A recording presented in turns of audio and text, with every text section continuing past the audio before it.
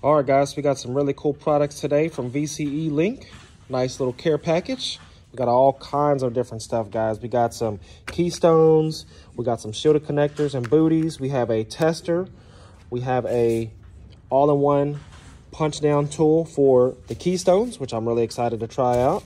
Um, this is a pass-through crimper, and this looks like it's for the shielded pass-through connectors. And then we have some uh, pass-through connectors and a mud ring and a brush plate. So today we're going to show you how to use the pass-through connectors with the pass-through crimper.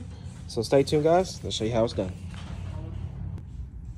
All right, so right off top, this is a really nice crimper, guys. It shows the order in which we're supposed to terminate our Cat 6, which is really nice if you can't remember off the top of your head.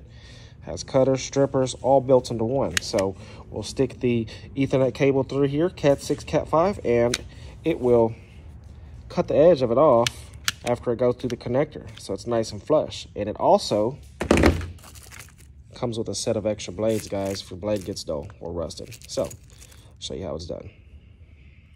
All right, guys, so this is one of the Cat 5 slash Cat 6 RJ45 modular plugs. So all I have to do is insert our wires directly in there in the order it's supposed to be, A or B.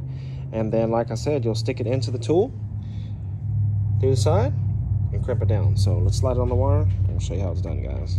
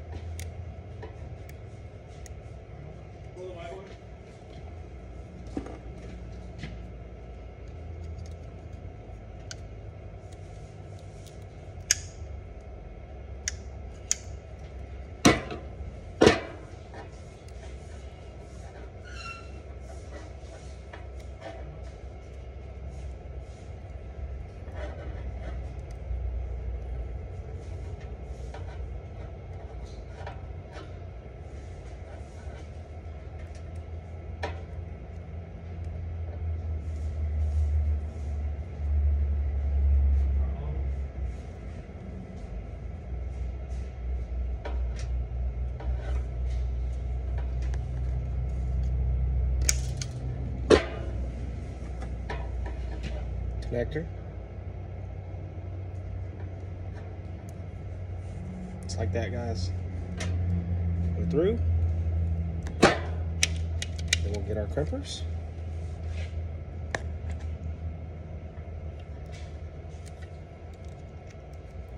All the way through. Then we'll crimp it down. Pull it out. You're done. It's pass-through connector and crimper from VCELINK. Let's go.